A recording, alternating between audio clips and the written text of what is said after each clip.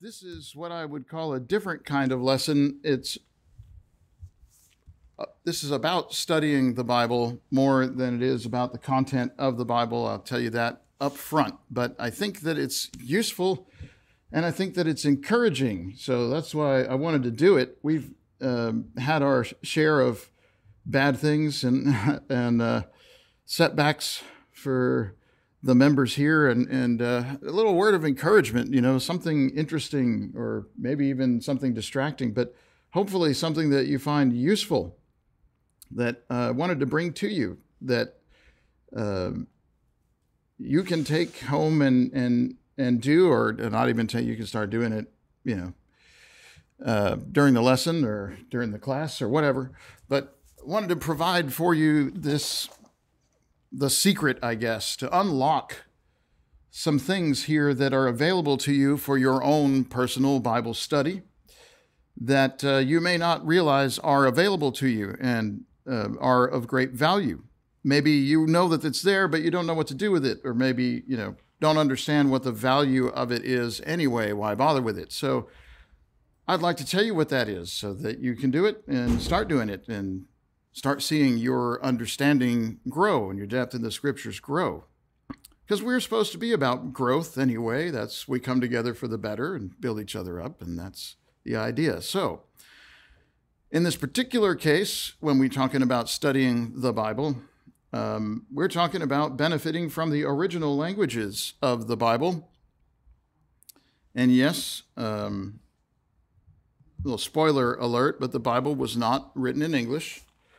Uh, the Apostle Paul did not use the King James Version, um, just in case there was some confusion about that. Uh, he did not. Uh, in fact, the Old Testament was written in Hebrew, and the New Testament was written in Greek. There are other versions, uh, you know, from ancient times. There are other versions, other translations, and ports of the scriptures into other languages, but the originals are these. Um, with a very small exception, some of the letters from Babylonian captivity are actually in Aramaic, not Hebrew. But yeah, short portions, and that's not worth troubling yourself with because it doesn't matter what language we're talking about for the purposes of this little trick that we're going to be talking about. Uh, the, the reason for talking about the languages, though, is because it does matter. Getting the accuracy, if you will, and the help that comes from the original languages is of benefit to us. It helps us to understand some things, to unlock some things, to find some correlations that we may not otherwise have found. Um, First thing that I want to talk about is a fear that a lot of people have when it comes to original languages, Greek and Hebrew, for example, or any of this kind of study. People say, well, you know, don't I already have the truth in my Bible? Are you telling me that I, I can't know the truth without Hebrew or Greek? I, I don't have the truth in the King James Bible. No, I'm not saying that. You do have the truth. You have what you need to be saved. The reason for this study is because you may want more than just what you need to be saved. you may want to know more and understand better and see more things in it. But the fact is that sometimes it's just plain helpful. Um, there are times when you don't know without some help. I remember well, and I'm looking at 1 Peter 3, verse 6. I remember very well. Uh, being a new Christian who, you know, has started studying Greek already, I was sitting in the Bible class um, up at Woodmont. It must have been summer because um, I wasn't allowed to attend during high school, but uh, and I didn't know Greek during high school either. So it must have been a summer. But um, sometime when I was a new Christian back there, but had already started to study the Greek language. I was sitting in the Bible class by Tom Roberts, who was then um, not that he isn't now, but even this 30 years ago, whatever this was, uh, it's probably about 30 years ago, he was sitting there, uh, or he was there with uh, many years of experience in teaching and preaching the gospel. He was very experienced, very knowledgeable, um, an excellent teacher. And uh, we were in 1 Peter 3, and we got to verse 6, where it says in the King James, even as Sarah obeyed Abraham, calling him Lord, whose daughters ye are. And the question came from the members well, whose daughters is it? Are we talking about your Abraham's daughters, whom Sarah obeyed? Because we're children of Abraham, we're the seed of Abraham, etc., etc., on the one hand, or is this Sarah's daughters? As in, you're following the example of a godly woman who came before and set an appropriate example. Now, the truth is that Tom got it exactly right.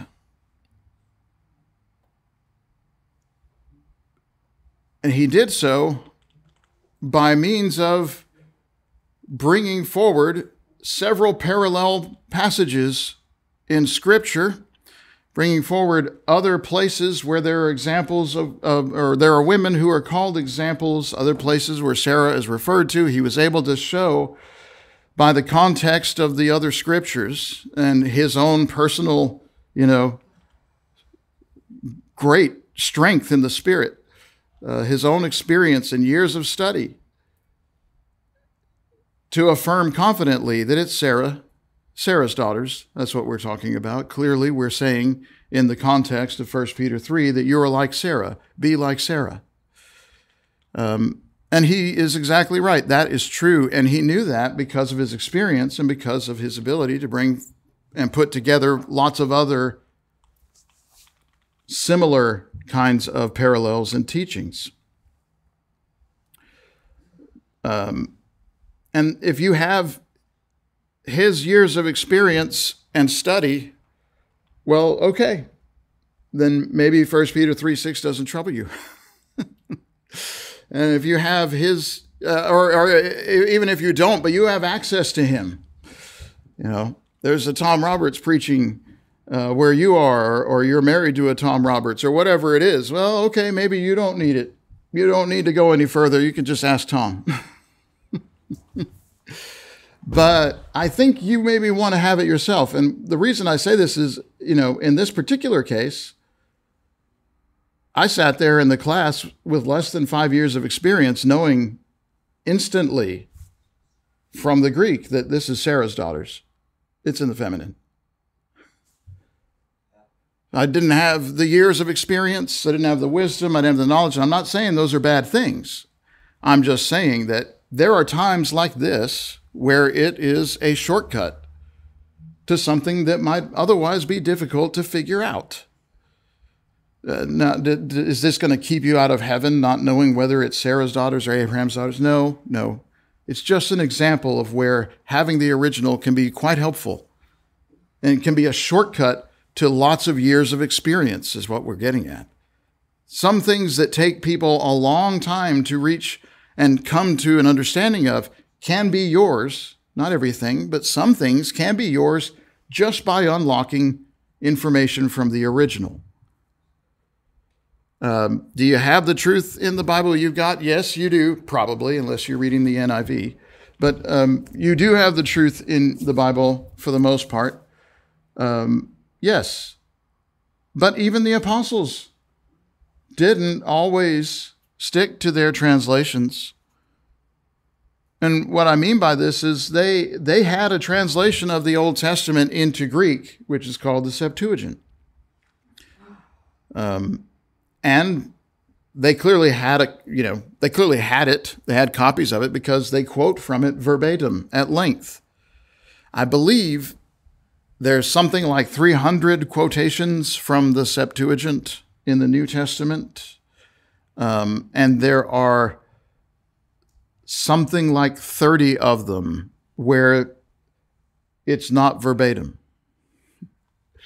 where they changed the words or they changed a specific word or a phrase, or they skipped, or they chose not to use the Septuagint translation, but provided their own translation of the Hebrew into Greek. The apostles did this. So, some 10% of the time, they chose not to stick to the translation. They thought there was something better available than the Septuagint.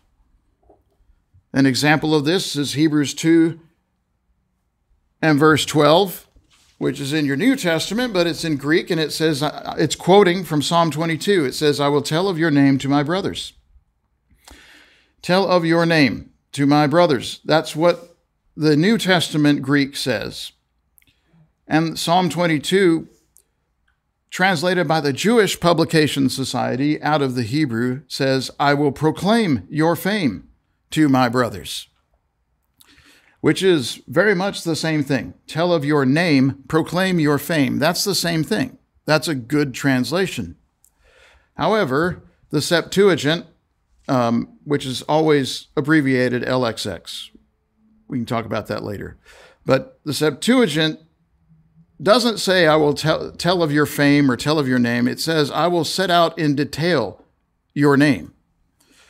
This is not the same thing.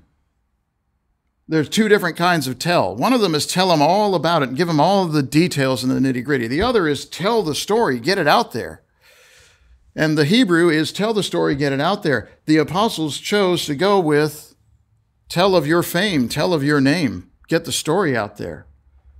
And they used a different Greek word all the other words are identical to the Septuagint, but they substituted that Greek word out for one that matched the Hebrew.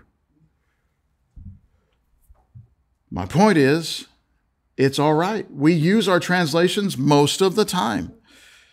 But sometimes there's something there that could be better. And that's what we're looking for in this study. This, that's what you're trying to grab, is whatever could be better, what you could get more information about. Um, you do have the truth in your English translation of the Bible. It is true. Lots of people have been saved by reading the Bible in translation, not even just the English language, but lots of people have been saved by reading it in translation. And the fact is, you don't have to know Greek, but somebody has to know Greek because the apostles didn't speak English. and Moses didn't speak English. Somebody has to know it so, you know, my question would be why give absolute trust to translation committees made up of denominational people? I mean, yeah, the committee by and large means they're going to keep each other in check, and it's basically going to be pretty good. Most translations are basically pretty good. But that doesn't have to be an absolute thing. There's no reason why I can't dig a little bit further. Somebody's got to do this.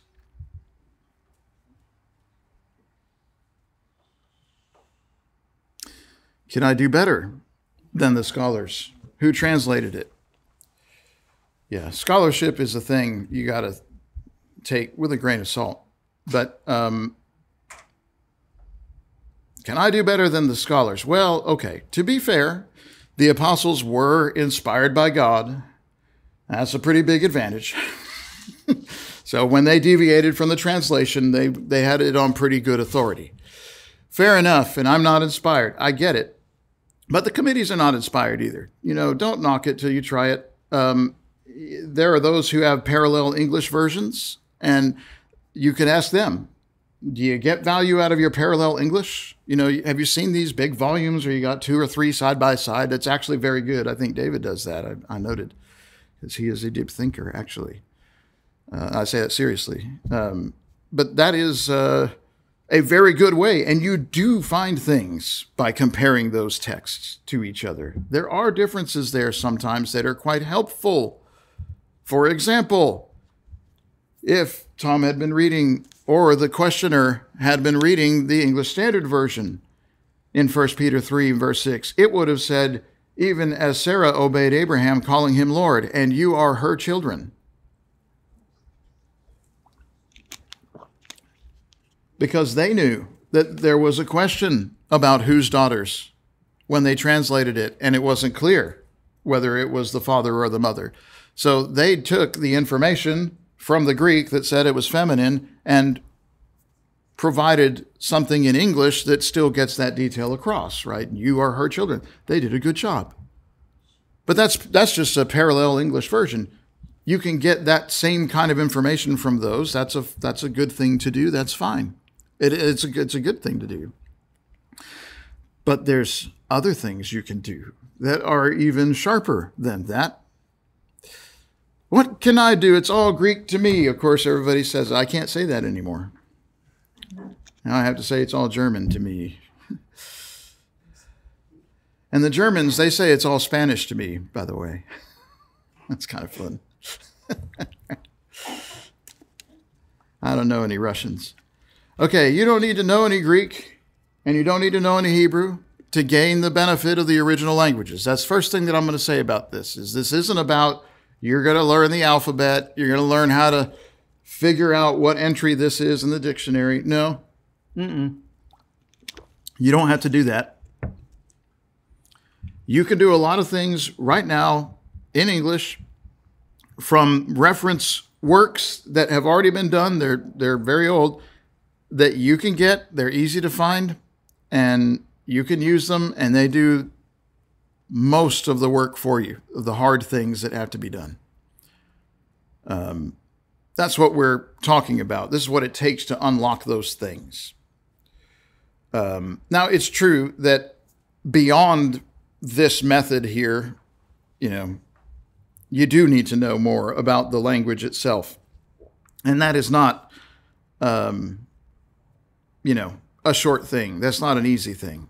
Okay. To be fair about that, this is probably as far as you can get without learning, you know, these languages. Okay.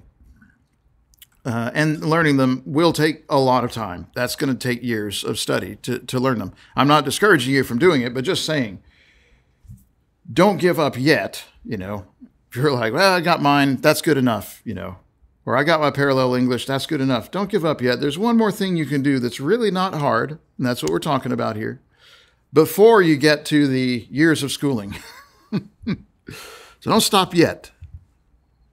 What can you unlock? Let me start with examples of what you can unlock. Okay. This is something of a sales pitch, I guess, but I mean, I want to give you examples of what is available to you from the original that you could figure out on your own. You could have done these things because I did them and I'm not smarter than you. What can I unlock? Well, um, you know, the best thing that you can do, and the main reason for doing this is to grab the original word of in the text and find where it comes up or where it is used in some other verses. So you're looking, you know, you're you're studying some passage, you want to know more about some concept or other, something that this passage says. Well, you you find that word, you figure out what the original word is, and then you go look at all the other verses that contain this same word. That's that's it. That's what's happening here. Um, that is already something you can do, and you don't have to know any any Greek or Hebrew or Aramaic to do it. It doesn't take any foreign language skill at all. You can figure this out right now. So, with the same word, but in a different verse, I've broken it into three things for the purposes of my presentation. You may have others. but the first is discover how thoughts from the inspired writers may be related. Once you have in front of you the list of the other verses where this word occurs, you can start thinking about well, what are these other verses? What are these other passages? You may find out that the people who wrote this borrowed vocabulary from each other or referred to one another in that same vocabulary, and it may not be obvious in English. Because very often, our translation into our idiomatic language is going to use a different word in English for the same underlying original word in Greek or Hebrew. That does happen. And vice versa. Sometimes two different Greek words or two different uh, different Hebrew words will be translated with the same English word. So you don't have a way of knowing that there's something different under there actually. So first thing that happens when you look at the same word in different verses is you find out sometimes that there are related thoughts that you didn't realize were actually related, literally related. Maybe because you're Tom Roberts, you already knew that from years of experience. But uh, for the rest of us, you know, it can be helpful to get that little clue. Uh, the other thing that you find is just seeing how it's used in other places, you might get a better definition of the term to understand what what are we talking about here? Like, is there a concrete versus an abstract? And what is the concrete? Because that helps me understand what it means, right? Getting a deeper meaning, a deeper definition without a dictionary, without a lexicon.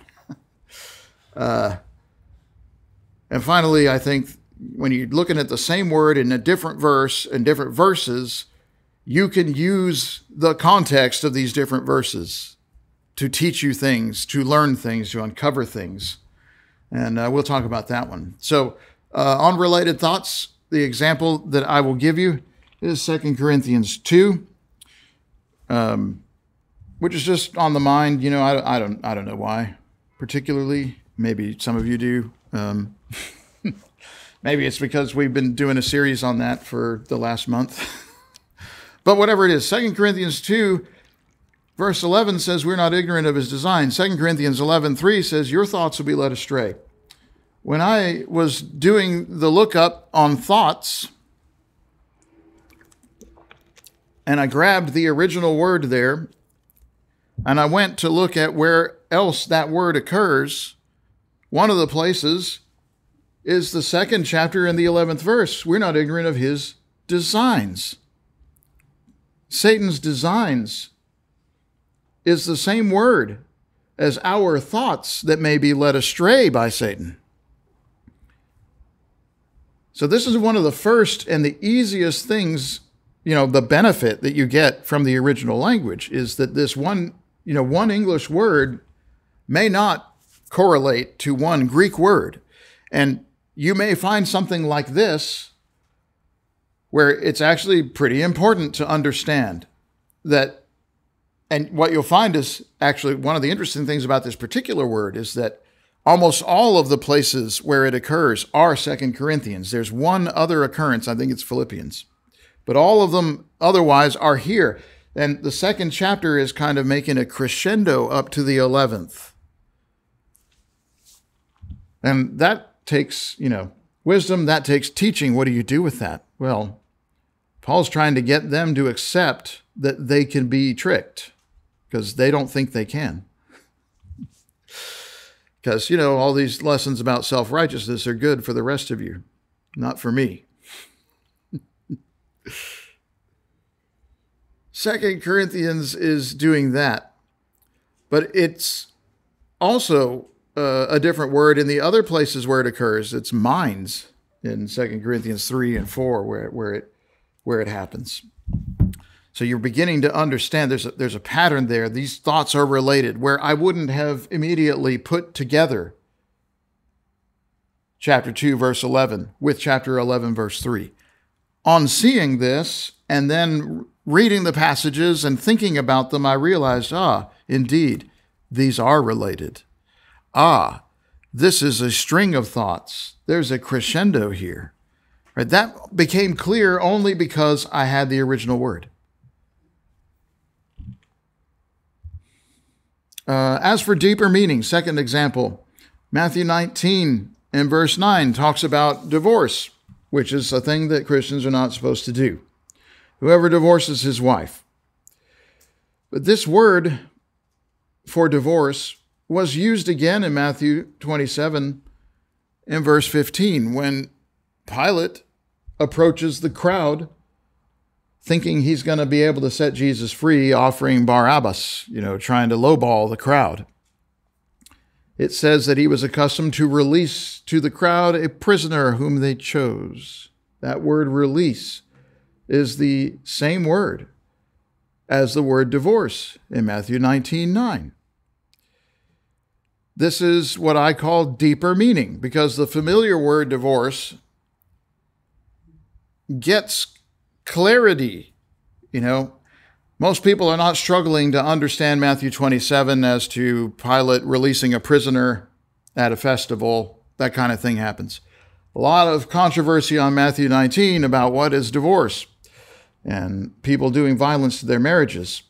Putting it together with the release of a prisoner is very useful for clarity's sake. It's telling us, you know, when a prisoner is released, that guy is walking away. He's not going back. He doesn't want that anymore. Uh, it used to be that he was required to be there, but now he's he's he's not. You can see how that is like divorce, and that is the reason that it's condemned. but you get a deeper meaning out of it. And this is, there's no lexicon here, right? There's no dictionary. I didn't tell you what the Greek word is. You don't need to know what it is. You know that this is the same word in both places, and you can noodle on that and think about how is this related and understand the meaning of that and the application of that. It's just one example. Now let's talk about context. My favorite example is ecclesia, which everybody knows that word basically. If you've been in the church for any period of time, you know the word ecclesia is the word for church in Greek. Ecclesia is the word that is translated church. It's actually the word for assembly, but who's counting? Acts chapter 8 and verse 1 there was a great per- persecution that arose against the church, right? That's the common translation of the word ecclesia. If you go to Acts 8 1 and you look up church and you go find that word, it's going to be ecclesia. And you're going to find however many hundred references to that word in the New Testament and there it's going to, you know, as you're reading down the page, it's going to be church, church, church, church, church, church, church, church. You know, that's what's going to happen until you get to Acts 7, verse 38, where it wasn't translated church, it was translated congregation. Why was it translated congregation in Acts 7:38 when he said Moses was with them in the congregation? In the wilderness? Well, because, you know, that's how you translate the Old Testament word. It's congregation, yeah, but it's actually the same Greek word as church. So, should he have said Moses was with them in the church in the wilderness? Well, people would say, well, no, because churches aren't Jewish. Right. That's the problem with the English word church, okay? it's actually assembly. It's the assembly or the congregation or the church. But that's the same word. So the congregation of the people of Israel, the congregation, you know, everywhere in your Old Testament where you're thinking the congregation of the children of Israel or the assembly of the children of Israel, that is the church. That's the church. That's what we are. We are the spiritual Israel of God today, Galatians 6. We are the congregation in the wilderness, and this wilderness, the world is the wilderness we are in. That's, that's us. It has a lot of ramifications for understanding.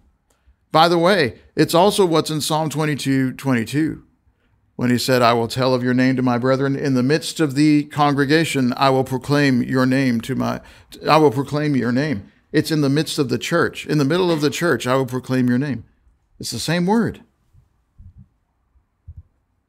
And you keep skimming down the results church, church, church, church. And then Acts 19, verse 41, actually, it's translated assembly there.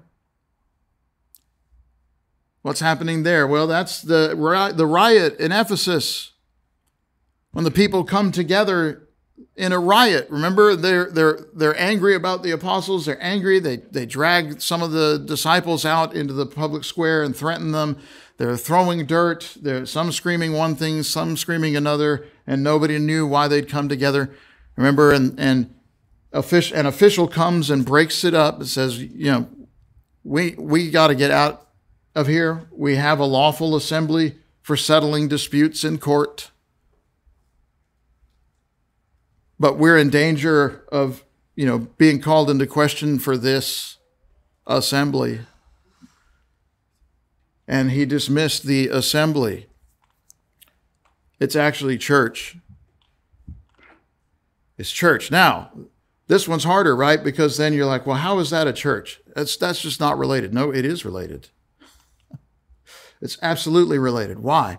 It's because the word church means called out, not called out of the world, called out of your house into public to come together. That riot is a church. Those people were called out of their places to come together in a public place. Why? Well, that's different. Some shouted one thing, some shouted another. Nobody knew why they'd come together. Does that describe some churches that we know? Yes. Yes, it does. There's a lot there, isn't it? It's pretty useful to have that. That's what we're getting at. You can leverage the context. You see what happened there. Does that apply? Is that useful? Yes. Yes, it is. That's something that you get understanding from. And I think that's a pretty good, sharp tool. All right, so how do you do it? I'll tell you how you do it. Nuts and bolts, there's actually only like two parts here. Um, concordances is the key. If you don't know what a concordance is, uh, a concordance is a reference work, a book that lists the words of the Bible one by one and for every word tells you all the verses where that word occurs. That's all a concordance is. It's all the Bible, the words of the Bible one by one, and every verse where each word occurs. That's what a concordance is. Uh, they're the best friend that any Bible student has. That, that is true. You need them to search. Any search you're doing, that's a concordance. All right, the first trick is Strong's exhaustive concordance of the Bible. Exhaustive meaning every single word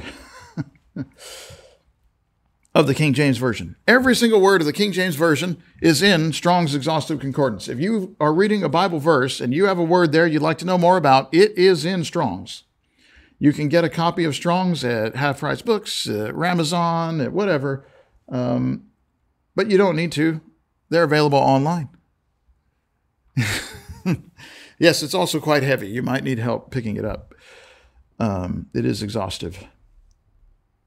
But he is the guy who not only made sure that every single word in the King James Bible was accounted for, but also assigned a number to each one of them. They're all uniquely identified by number. That means you have a, a, a, an identifying key, a specific number for a specific word.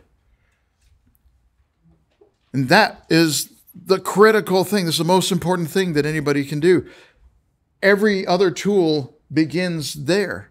Now that we have an index of every single word, now we can key other things to those numbers. Now you don't have to know any Hebrew or Greek. You just grab that number and go to another reference work that is keyed to Strong's numbers. For example, the Englishman's Greek Concordance, which I find to be especially pertinent to those of us, pertinent to those of us who are English speakers and are looking for the Greek of the New Testament. Englishman's Greek Concordance is a concordance just like Strong's, except it is not keyed to the King James Bible English words. It is keyed instead to the Greek words of the manuscript of the New Testament. But they're all ordered by Strong's numbers. So you'll get Strong's number, whatever it is, you know, 2,149 and you'll just turn to the page in Englishman's. They're in numeric order. That is 2,149. And there you will have, lo and behold, all of the verses that contain that word. Regardless of what they are in English. Sometimes they match, sometimes they don't. That's how we found, or that's how I found the other ones, although you can do it by just reading down Strong's, although it's much harder because the word you know, the words are translated by multiple Greek and Hebrew words very often. So if you're looking at like love and there's pages and pages of results, it's very hard to scan down that page looking at every number until you find one that's different. That's difficult. It's better to grab a concordance. But that's what you do. Find your verse in the King James Version because that's the version that Strong's indexes. Then you find your King James Version word in Strong's Concordance. Strong will give you the number that goes with that word on the entry that corresponds to that verse. And then you'll take that number and go find it in a concordance that accepts strong numbers. Um, you can do this with a King James Bible, a Strong's Exhaustive Concordance, and an Englishman's Concordance of the Greek New Testament, which is exactly what I did 30 years ago before cell phones and Blue Letter Bible and all that stuff. I remember when you used to have to go to the library to read books to get knowledge, you know? That's how we used to do it. But of course, today you do have modern technology. You have Blue Letter Bible, for example. And I'm using this one because it's free and easy. It's on the internet, but there's lots of others actually. There's BibleGateway.com, but I like Blue Letter Bible. Um, there are actually lots of other things available out there. Suit your fancy. But just for an example, I have done some screenshots here, which I don't know if they're legible, but I'll try to narrate. Um, first thing you do is find the verse you're looking for. Here I'm looking at 2 Corinthians 11 in the King James Version. Although you don't have to use the, a specific version if you're using a Blue Letter Bible because they've already figured out for all of them. But just for consistency, I went with King James. You will notice that when I went there, one of the first things on the page is a little checkbox that says Strong's without any explanation. But I just explained it to you. That is the checkbox that means, hey, Show me the Strong's numbers. And voila, the numbers magically appear in the text in your Blue Letter Bible app on your phone or in your web browser of choice. All of a sudden, here's my 2 Corinthians 11, verse 3, and my mind's from the earlier example has got a number next to it Actually, it's a letter and number G3540. That is the Strong's number for the word underneath minds in 2 Corinthians 11:3. The Greek word there is G3540. Well, if you click on that thing, it's actually a link.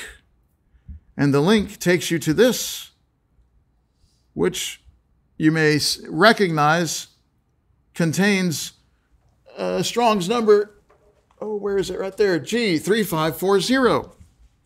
I am in the right place. Yeah, there's also some scribblies, you know, whatever. Doesn't matter. Just keep scrolling. I've got my Strong's number, 3540. It occurs six times in six verses. And notice that first one, 2 Corinthians 2:11, devices. G 3540. The second one, 2 Corinthians 3:14, minds 3540. You see what's happening? I'm getting the list of all the places where it occurred just with a click. Two clicks. and the other thing that's very interesting is, is right here. Blue Letter Bible also links to the Old Testament results in the Septuagint Greek concordance. So if you're that crazy, you can click that link and see everywhere in the Septuagint, the Greek translation of the Old Testament, that this word occurs. And sometimes that's very useful. I recommend if you're if you're if you're going to do this, if you're serious, I recommend that you do that, especially in Hebrews um, and in places where it's referring to things in the Old Testament the tabernacle, the tent of meeting, the uh, the uh, holiest of holies, and all the, these kinds of things, those are good things to follow that link because typically they're verbatim quotes from the Old Testament translation. But that's extra. But this is how we discovered that the thoughts of 2 Corinthians 11:3 are the same thing as the schemes of the devil in 2 Corinthians 2:11. This is how we did it. I just went to Blue Letter Bible, looked up my verse, you know, clicked the Strongs, clicked, you know, pulled up the number on the, the, the word that I wanted, clicked that link and scrolled down, and I got a list of all the other places. There's not many for this one, only six. But that led to, for me anyway, that led to a much better understanding of what was happening there in Second Corinthians. Without without reference to the word itself or the meaning of it or a lexicon. There's another way of doing the same thing from the verse. Instead of going to the top of the page and saying, Show me all the Strong's numbers, you can also click on the blue, the tools thing there, and it'll open up a parallel uh, right underneath the verse that you're looking at, which is what I did here on 2 Corinthians 11:3. And if you scroll down, it will show you the strong numbers you know, for every word in the verse. And that is the link. That's a link. It's just like before. When you click it, you go to the results of it. Okay. So there's an there's two ways to do the same thing. But that's how it works. And you don't have to know the Greek or read the Greek or, you know, use a lexicon or a dictionary or anything like that. I think those are potentially useful, but um, well, yeah. Most of the lexicons that are linked and keyed to Strong's numbers are not lexicons that I would use. I'll just say that. I there somebody may have uh, indexed Liddell and Scott and Jones, LSJ, Liddell and Scott. Somebody may have indexed that one, and if you can find Liddell and Scott for the Greek, do that. That's absolutely the best in English. But otherwise, uh, take it with a grain of salt. I think you're going to get a better definition by comparing the verses to each other. And it really is a place where you, as a Christian, you know God, you know the truth. The people who wrote those lexicons, they did not. They were not Christians. And they get some things wrong. Um, or they miss some things so be careful with that one. I think you get a better understanding by comparing the verses. And you thinking as a genuine child of God about the parallels or the lack thereof in these passages, that's going to help you. And you're going to get a better understanding, I think. All right. In closing, Romans 3, verses 3 and 4, talks about this basic fact that God's word comes through imperfect messengers and it comes through completely unscathed. That's the meaning of Romans 3, verses 3 and 4. Some of those in the Old Testament who were inspired writers sometimes proved to be unfaithful. The prime example here is King David, who sinned in the matter of Bathsheba and wrote a psalm about that fact afterward. And that psalm says that you may be justified in your words and prevail when you are judged. The exact point that Paul is making is that David did wrong, but God is still right. God's words inspired through David, though he did wrong in his personal life, are still just and they still prevail so we've got to believe and understand, and I'm asserting to you, you know, this is not to knock the scriptures or the reliability of your translation. I don't mean for it to shake your faith at all. I'm saying you can build still more on top of that. You can go deeper.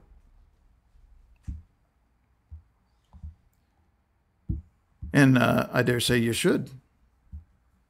Because you're the child of God. You're the one who knows the scriptures. You're the one who knows the truth.